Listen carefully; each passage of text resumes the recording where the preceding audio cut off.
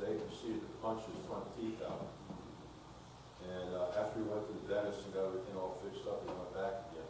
Amen. And he was winning people to the Lord, amen, but not those two guys. I think they ended up in jail. Amen. Maybe somehow in the prison ministry they might get saved. It amazes me how some people are moved uh, by uh, the Word of God in a fashion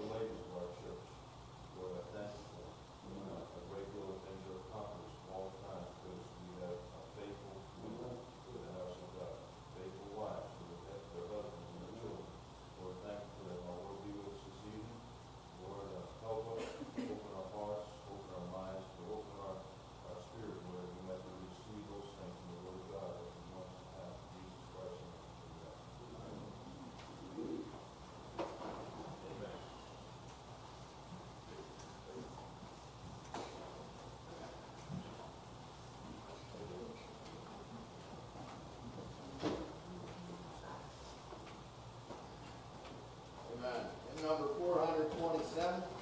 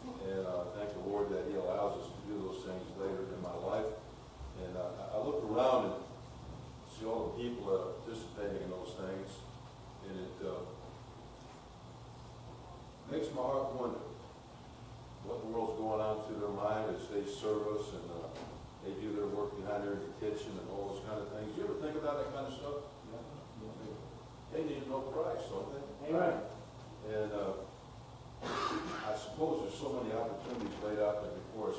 But, but I think what it is, is I think people are just basically afraid. Don't you think so? Uh, We're a little bit um, concerned about how people might receive us. Uh, We can, uh, we can fool around and talk with them and have uh, conversations and such. But, uh, you know, I was talking about darkness this morning, and unfortunately, I believe that there's uh,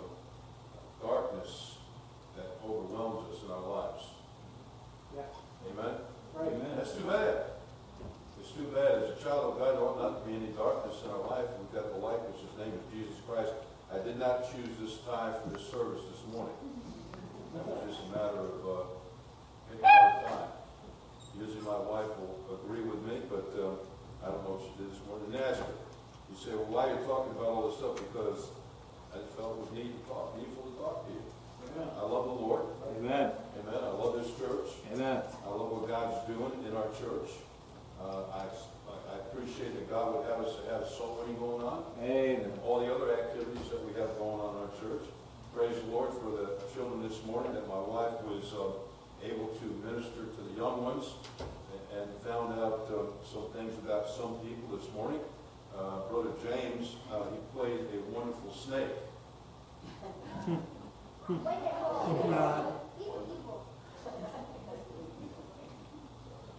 suppose you were the serpent. Yes, sir. Did you scare the little ones? Couldn't get them to eat that food, could you? But you know, all those things that are taking place, uh, we need to realize this evening that it's a blessing that God will be using different people to do different things. Amen? And uh, wouldn't you like to be able to see this church continue to go forward for the Lord Jesus Christ and uh, accomplish all that God has set before us? Uh, I'm excited about the fact that we're going to, in the future, in the near future, start a pastor school. Pray for me. Amen.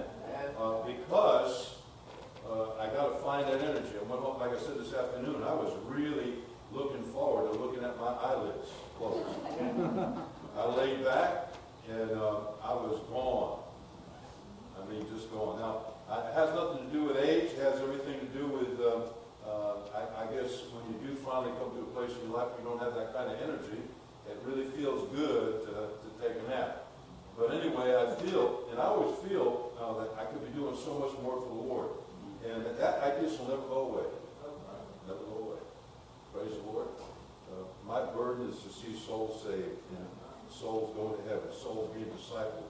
We spoke about that um, Saturday morning. Uh, we need to go out and get the babies that have gotten saved, and we need to go ahead and minister to them through discipleship. So my wife and I are going to be working together, that is, um, to put together again, a program where we can go out and visit with them and uh, find out how they're doing in the Lord. And see if we can go ahead and disciple them. Uh, and get them to know the truth of the Word of God because uh, it'd be a shame that some of those folks would be caught up in some kind of Pentecostal church or even some I know have gone back to Catholic churches. You know that? They get saved, they go back to a Catholic church and they get hoodwinked by the priest Yeah. and by all that's going on. I mean, that's religious stuff, and it, it looks good to people, but it's not the word, it's not the truth of God's word. And, uh, and you say, why are you saying all that? Because my, I'm concerned. I, I see what's going on. And uh, I see it probably more than most people because of where God has put me in my life. Uh, everybody's questioning what's going on in their life. Difficulties here, difficulties there. And there are a lot of difficulties, isn't there? And, and I'm going to read to you again out of Matthew uh, 4, verse 16. And then we are going to go to 2 Corinthians 4, 8. But you can be seated after we just read this one verse. The people which sat in darkness saw great light.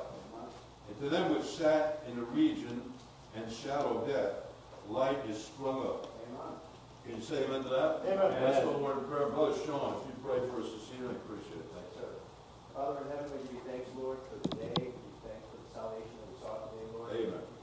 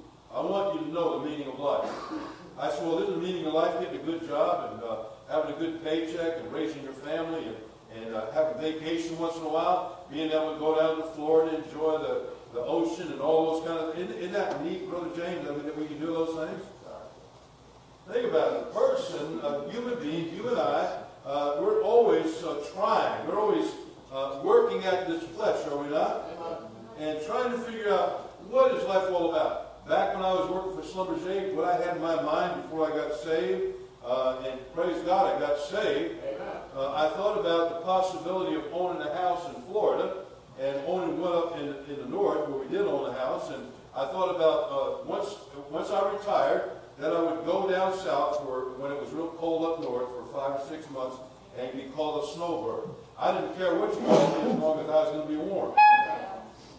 You understand what I'm saying? And really, that's what I thought life was really going to be all about. And then after all that, then you would end up dead. It's really exciting, isn't it? Isn't life really exciting?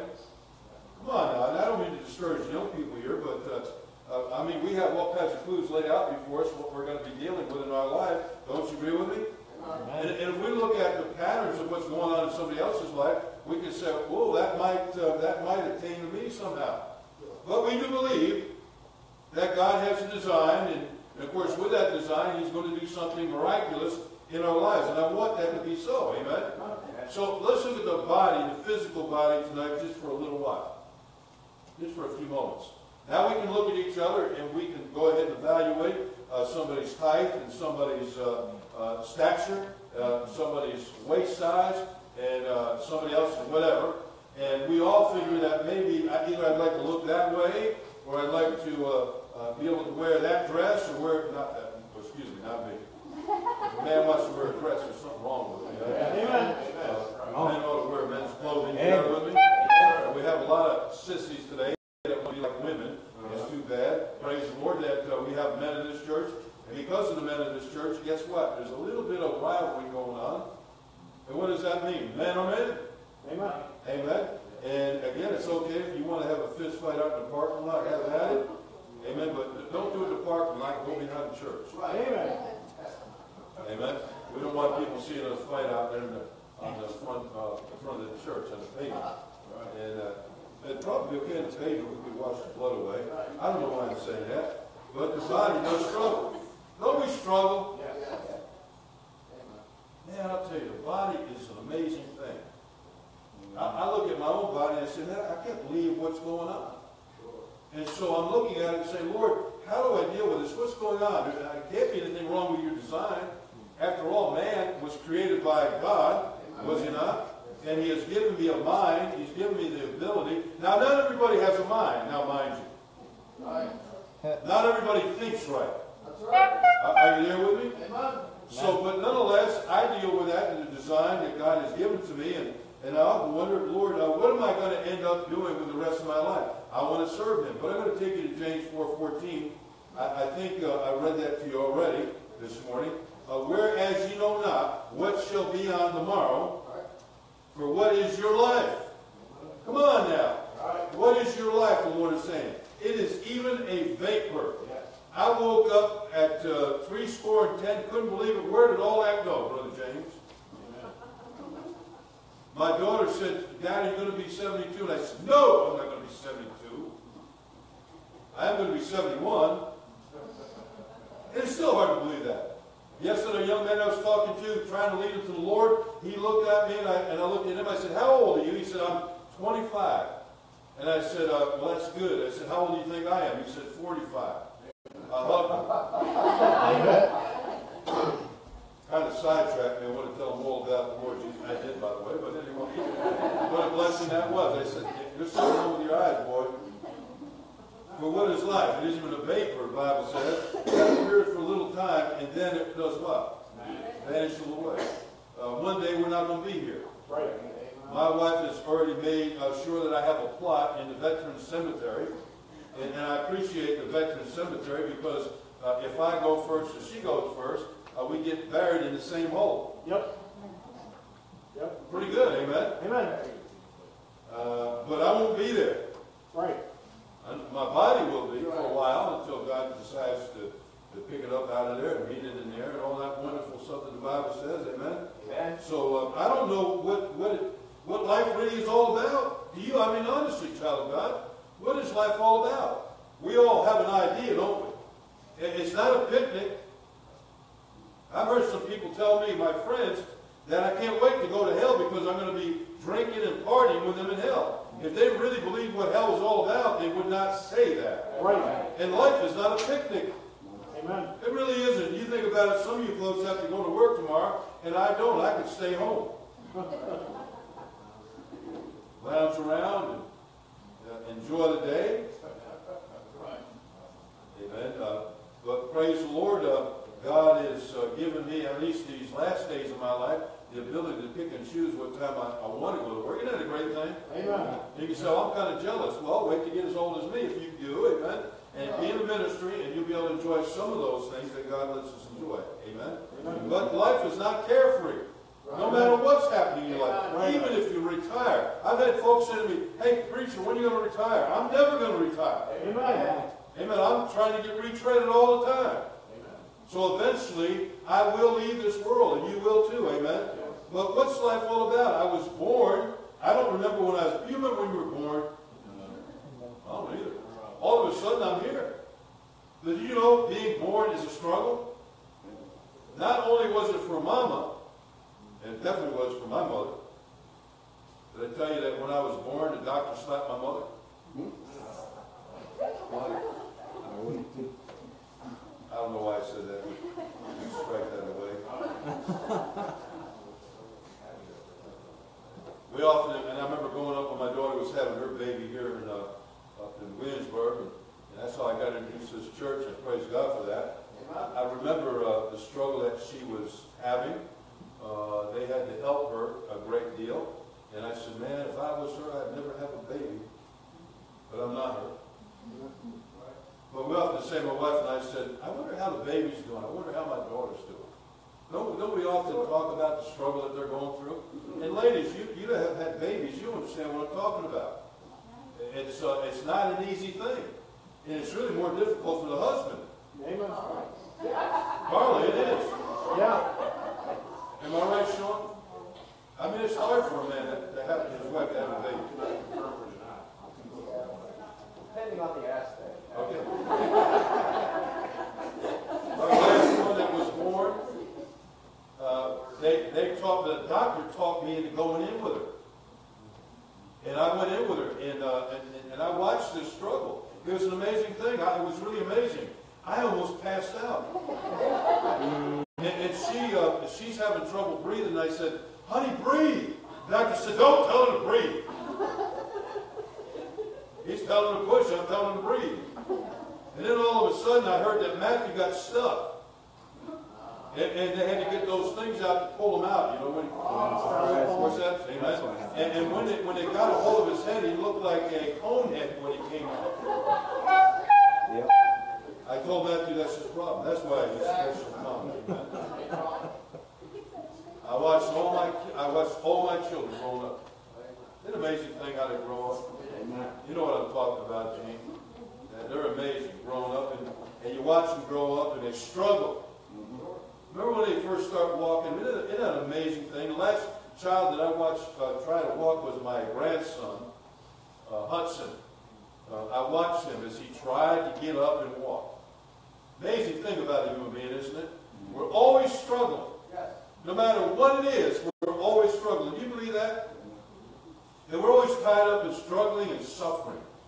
You say, well, I'm not suffering right now. I don't know about you, but um, the way I understand it, the way God has created us, He's given us all this skin. And if you don't have it, there's something wrong with you. Right. I, I've got all this skin and some of it's stretched out, but that's okay. And uh, you think about even a little spot like this.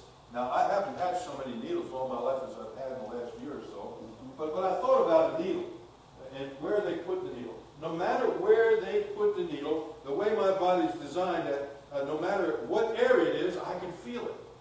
Yeah. And I mean, pain is definitely everywhere in your body, or it can be anywhere everywhere in your body. Right. So if you uh, if you step, as I mentioned this morning, on a needle in the house, your whole body feels it. Yep. So you have all kinds of receptors in your body. Do you know that? Yep. No matter where it is on your body, it is being prepared for pain. Right? That's kind of rough to tell you that tonight. Amen. Yeah, Well, we got network of nerves that go this way and that way. Some people have some people have fibromyalgia. You ever heard of that? Uh, I don't know how true that is, but but nonetheless, people have it. So they say it. And they have pain that they can't explain all over their body. Uh, that's tough that they have to deal with it on a daily basis, is it not? But God designed our bodies. Now check this out. He designed our bodies to have pain. Yeah. Yeah. You ever have a toothache? Amen. Well, what's the first thing you want to do when you have a toothache? You want to yank it out. Some of us have probably tried to yank them out. Isn't that true? truth? Now, I'm going to share this with you. Uh, I had gotten, when I was younger, got my teeth filled. You ever get your teeth filled? Yeah. Yep. Isn't that a wonderful project? Uh, they lay you back in a chair and, and they shoot your mouth up with all kinds of Novocaine. And you don't feel it at first. They say, well, yeah, you, I feel it. It feels like someone's standing in my mouth, pushing that thing into my mouth. Amen? And then all of a sudden, then you have no pain and you're biting your tongue. Isn't that true? And then they get out that little. I think the doctor does it on purpose. He goes, right? And then he gets into your mouth, and when he gets into your mouth, he starts drilling away at that cavity, and you can smell it. That's your body burning up. Now, you say, what? Well, I, I want to share with you tonight about this struggle stuff. There is no gap with any place in our body that would suggest that we can't feel pain. Every part of our body feels pain. How do I know that? Because I'm a human being. So for the unsaved, uh, listen, they're going to feel pain in hell for all eternity. Right. That doesn't mean they're just going to feel it on their tongue. Doesn't mean they're just going to feel it on their head. Doesn't mean they're just going to feel it on their toes. They're going to feel it in their entire body, day in and day out, whether it be a day or night. They're going to be feeling it all the time. Right. I can't comprehend that. I can't comprehend have, uh, having more than a half an inch of my body being burned. And some of us have experienced it, haven't we? Anybody ever burn themselves? My wonderful wife, I love her to death. She cooks for me and does things for me. But uh, she put a frying pan in the oven. It's got a handle on it. Amen? 350 degrees. What were we baking? I forgot. It doesn't matter. But anyway, uh, she put it in the oven, cooking something for me. She decided to get it and get it out. She grabbed the handle without a pothole. Now, see, that's what happens when you get older. See, you younger people think that you can always remember that stuff, but it'll get you. It hurts. And, and she's an amazing woman. She burned her hand and uh, didn't cry a lick. I'd have been crying like a baby. Of course, then she started running cold water over it and all those wonderful things. And, and, but I thought about it when she burned her hand. I said, what's it going to be like in hell? Right. Right. Aren't you glad you're saved tonight? Amen. And if we have all these receptors and things going on in our body, uh, and, and what's it going to be like in hell when they're burning, and they're not, and they're going to be in their physical bodies. You know that? They're going to have a resurrected body, not like ours, but it's going to be a resurrected body. They are going to be in the flesh. Right. Doesn't that blow your mind? And that should scare us to think about that poor soul that you may not like is going to die and go to hell and not saved. Now, I know that we might think that somehow uh, Hitler deserves to be in hell, and yes, he does, for all that he's done, but he could have gotten saved. Right. Stalin could have gotten saved. All those wicked men could have gotten saved. Even those that are leading countries like Iraq and Iran and what just took place over here in uh, uh, Syria, you would say, listen, those men need to go to hell and suffer there for all eternity. But could you imagine if they got saved? They wouldn't have to deal with that all eternity. That's an amazing thing. Psalm 139, 14, I want to take you to that verse. I will praise thee, for I am fearfully and wonderfully what? It is. It's true. It's an amazing thing, Frank. It's amazing, even though other people might not see us that way, wonderfully made, Right. but we are wonderfully made. Amen. Whether we like it or not, marvelous are thy works, and that my soul knoweth right well. What does my soul know? That God has created me, and He has given me all these senses in my bodies, in my body. Why? So that I can experience pain.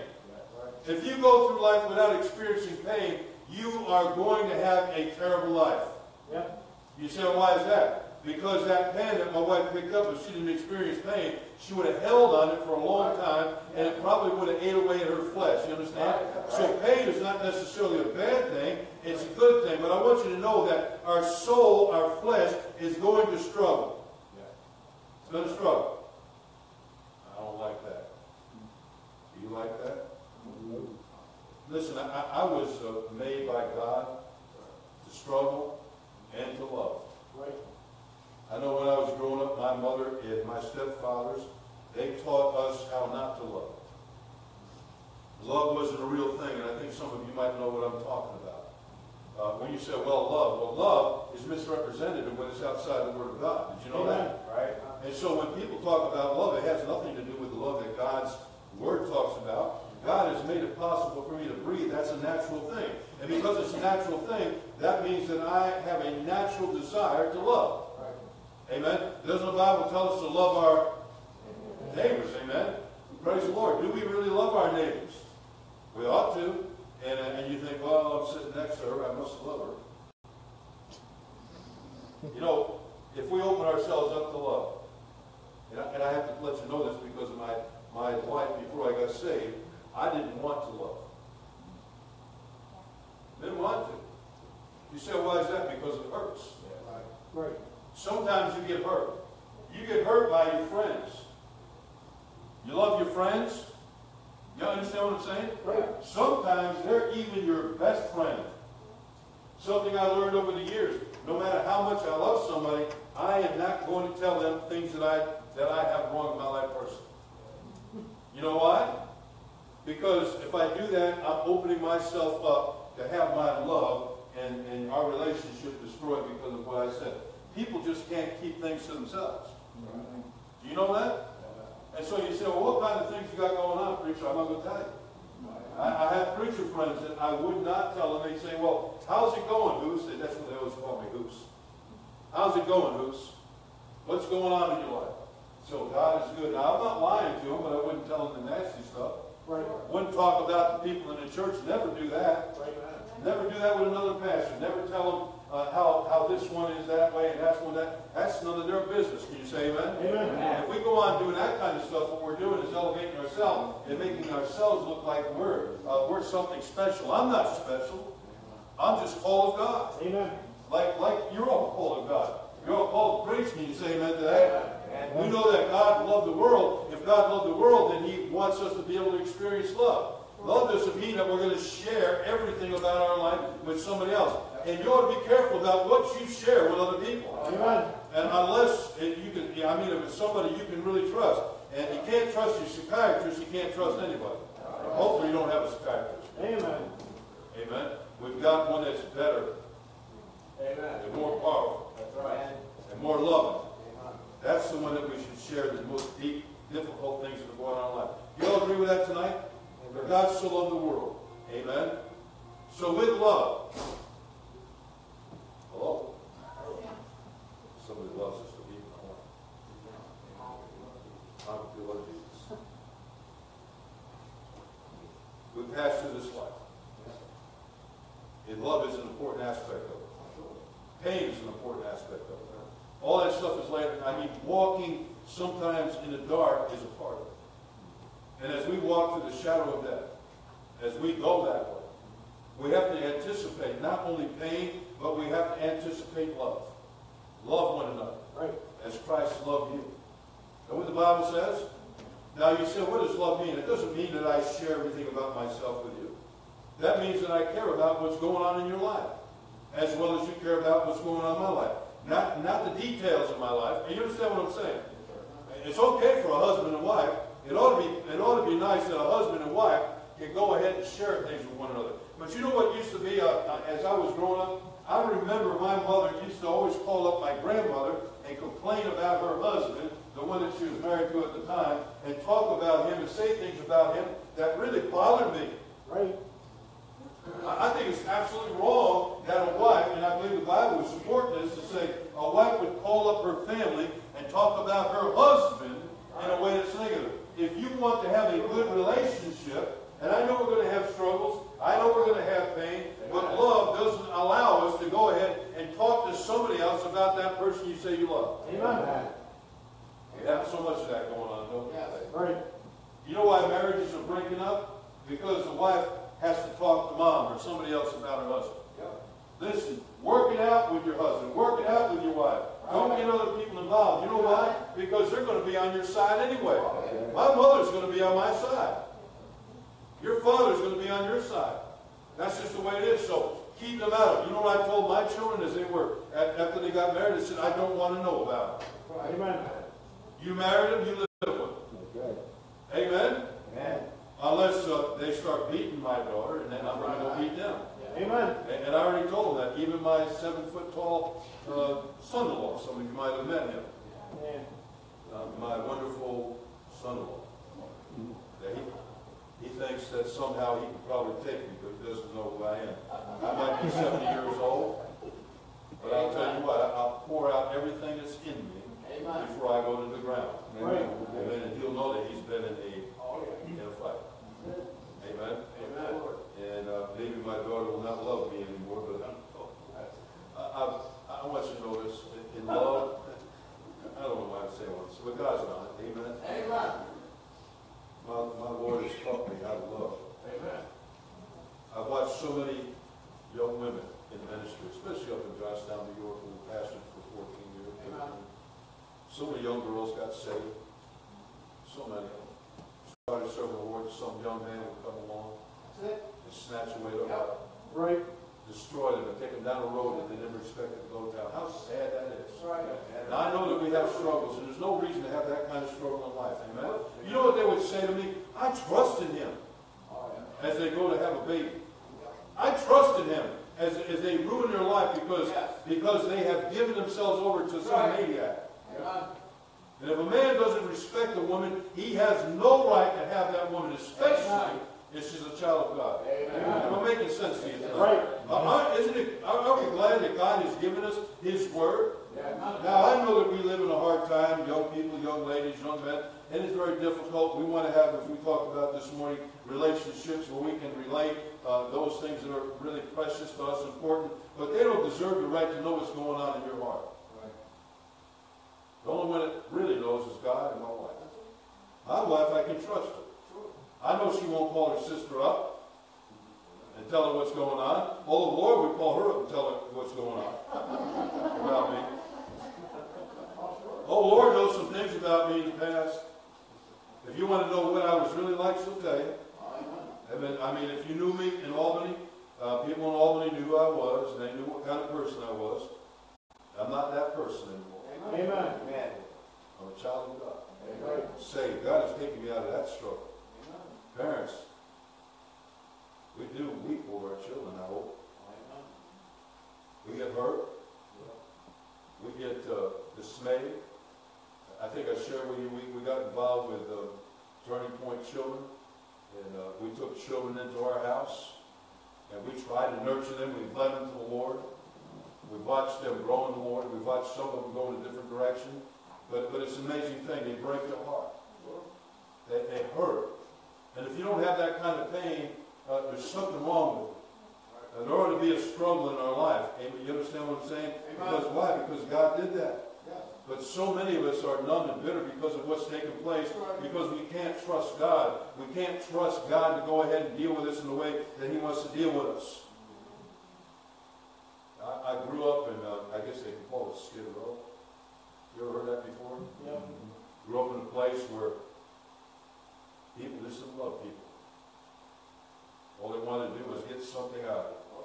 And you did the same thing, of course. But the only reason why they did that is because they were struggling in their life. We see other people shoot people. We see other people hurt people in different ways. You understand what I'm saying tonight? Right. And we, we're living in a crazy time. Are we not? Somebody could walk in this church at any time and have, a, and have an attitude towards you and I because of what we believe. Right. It opened fire on us. That's the terrible thing. And I know, I know that uh, we're not looking forward to that thing. I hope their doors are locked. Amen. Amen. Because it could happen. Could happen. But it's only because they're struggling, don't know how to deal with that struggle. They've been loved and they love somebody and they're hurting of that. And so I, I want to talk about our minds just for a few moments tonight. Amen. Uh, we all have a mind, don't we? Yes, sir. Now mine is almost gone. And it doesn't matter. Yes, Charles, almost gone. Haven't arrived yet. But that's good. I still have some mind left. You understand what I'm saying? But my mind struggles. I don't know what your mind is like, and I don't want to know, honestly, amen? But the mental part of my life is always struggling. I mean, that's just the way it is. And here, here's what it is. My mind is very sensitive. Isn't your mind sensitive? You're not always going to miss, admit how sensitive it is until somebody doesn't agree with you. Right. Until somebody is going in a different direction.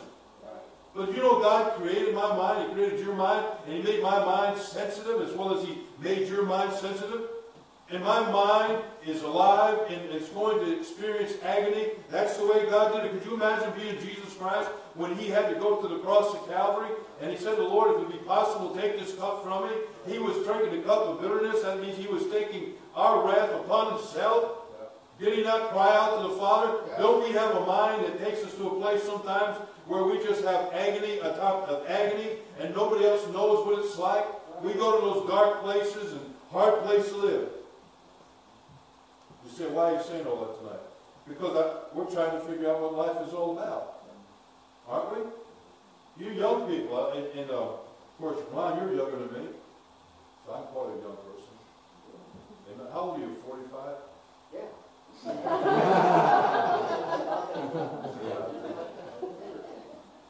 But, but, I, but I look at you young people, and I, and I praise God for you.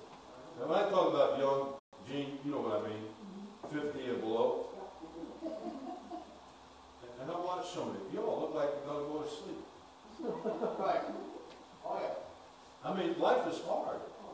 It- I- You don't understand, preacher, I worked all day. Yeah, I feel sorry for you. I really do. No, I don't. I, my wife and I were just talking about this a couple of days ago, and this obviously sounds braggadocious. That'll work. If it's not, I made it up. Anyway, uh, we were talking about that, and uh, she said, honey, you were never home. Especially when I started running to school. You know, they paid me a whopping, uh, I think it was $150 Woo! Yeah. Big ball. So we took all our money that we made at Schlumberger and tried to live off of that. That didn't work all that well, but uh, I had to get a job. Did you feel sorry for me? Yeah. I had to get a I had to get a job where I had to work eight hours. And then I had to run to school.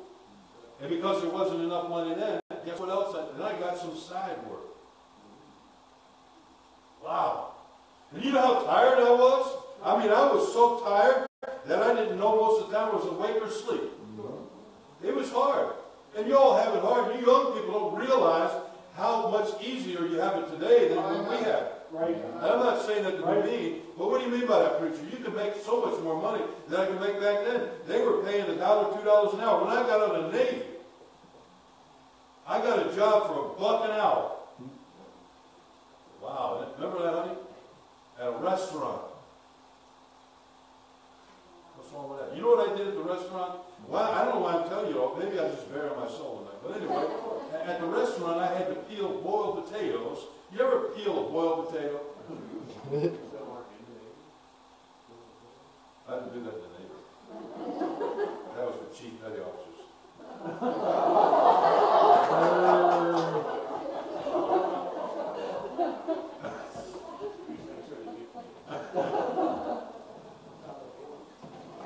You ever hold that greasy, slimy boiled potato, trying to get the skin off it?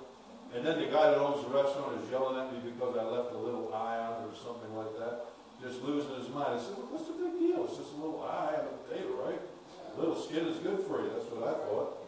Amen. But you know, that, that hurts. That, it, it makes, it bothers your mind, doesn't it? We, are so caught up with what our minds allow us to think. You look at somebody and they don't look at you right, you go, I wonder what they're thinking about me. What's really amazing when I'm standing up here and somebody's picking their nose.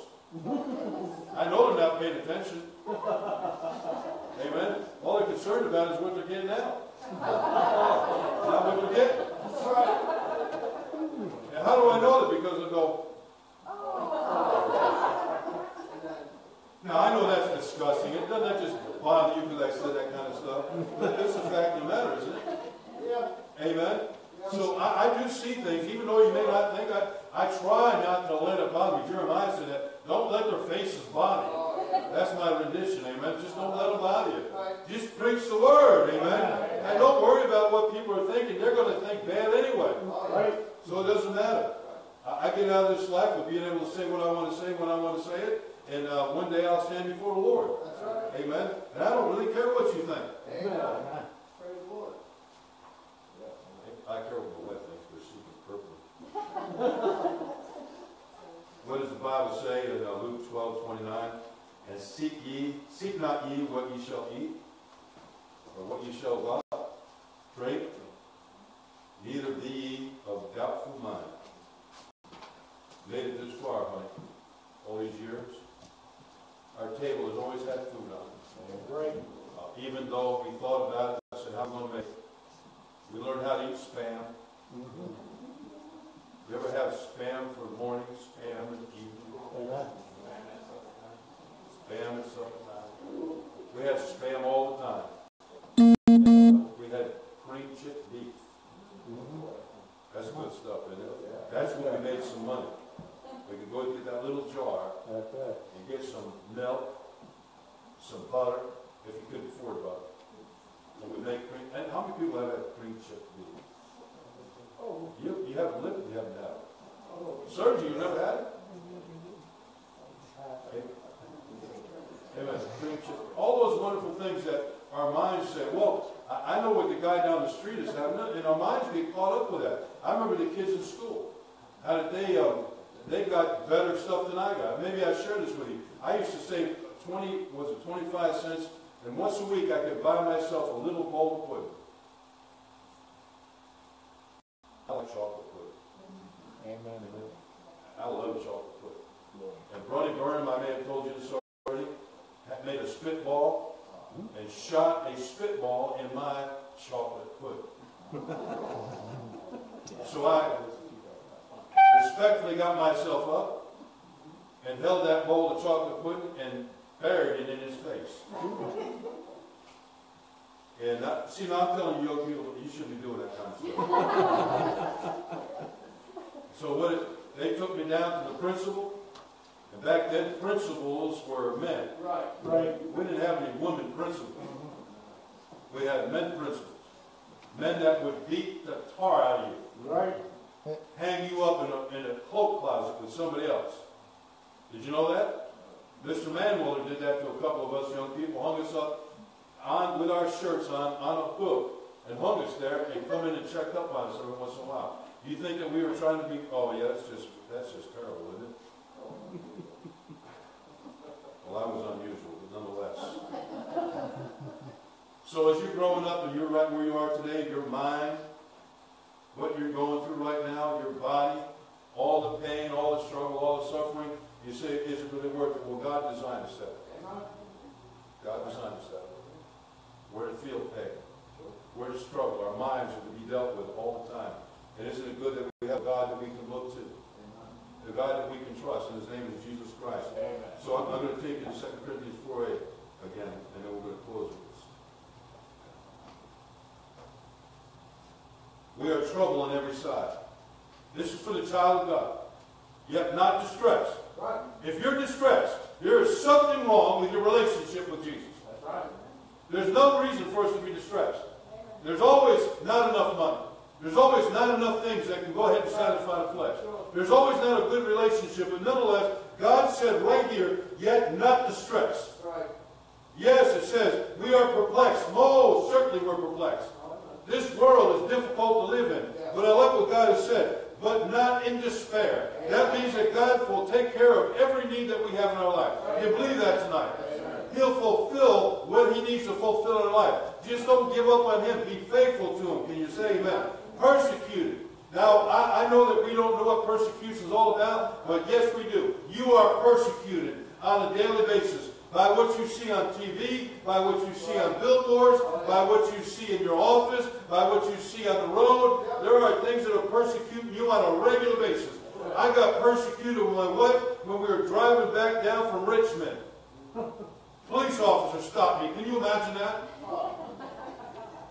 Pulled us over. And the guy couldn't have been 12 years old. Stood right outside. I looked at him. I said, "You can't beat." me." I didn't say that, but I, thought that. Sure. And he said, "I need to see your insurance cards, your driver's license, and whatever else you have to show, registration." So anyway, I took, and I said, "Officer, why are you stopping me?" I forgot to put that little sticker on my license plate. You know the one that you send away for? Anybody ever do that? Nobody's ever done that? Okay, I got caught. That guy's got good eyesight. How did he see that? But anyway, praise the Lord, I had it all taken care of. So uh, he, he said, have a good day. I said, you too, officer. Amen. Perplexed, persecuted, but not forsaken. God knew I messed up, didn't he? Right. Amen. I I know I don't always get my car inspected like I should. Do you? You know why I don't get it inspected all the time like I should? Because I try to get it out in another month. Nobody ever thought of doing that. You know, if you're supposed to get it inspected on, in December, I wait to January, and then that way I, I can go another year and a month, amen? Never mind. Cast down, but not destroyed. Now, I'm not suggesting that you do that. Just, yeah. Always bearing about in the body the dying of the Lord Jesus, that the life also of Jesus might be made manifest in our bodies. I don't want to ask God to do that. Jesus said, I want to be manifested in your body. I designed your body for pain. I designed your body for persecution. I designed your body for love. That's what God is saying. He has made it possible for us to live a life, even though we may not always enjoy it, but to live a life of persecution, pain, and love. That's the way it is. And you know, we're always going to struggle. We're always going to have differences. We're always going to feel like, listen, nobody really cares about me, but the fact of the matter is, God does. And although we might have dark times in our life, although we might be facing death, we have a God that truly loves us. How do I know that? Because the Bible tells me so. Amen. Are you with me tonight? Don't leave here tonight discouraged. If God has laid something on your heart to do in your life, then do it. If God is not for it, now I'm not suggesting to sin, and I think you know that. But do what God has laid upon your heart. We talk about a challenge, amen. If God has challenged you to go ahead and be whatever in your life, then try your best to be whatever, amen. And add all those other things to it. It's hard to put our bodies through what we put it through sometimes. And believe me, I'm one that might know that, not to brag about it, but I know that the body uh, sometimes can take things far uh, more difficult than you can even believe. Right. My wife having five kids, going through operations. Some of you have been there. One day, some of you are going to face that. Right.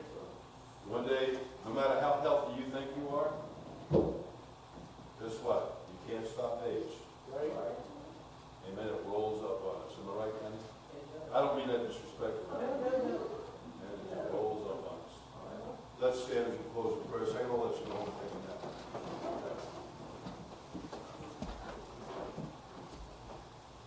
Father, Lord Jesus Christ, thank you for your word. I pray that it might be an encouragement. But Lord, I know that you have designed us according to your will. Lord, thank you for the fact that you have designed us to be able to experience pain. Lord, even though we don't like it, we understand why we have it. If we could allow our bodies to be able to be the Christ that we're supposed to be in this world, then we will experience pain. Lord, we will also experience suffering and persecution Bible speaks about. But Lord, even in the midst of all those things, there is that word that you said so many times and brought to us is love. Lord, you love us, and you love us first. Lord, so that way we can love you. Now, Lord, let us leave this place tonight knowing that we have a God that loves us and cares about what's going on in our life. And that, Lord, we extend our love to be that person, Lord, that you wanted us to be in this life. Well, thank you for it. In Jesus Christ's name, amen. Yeah. Number 489.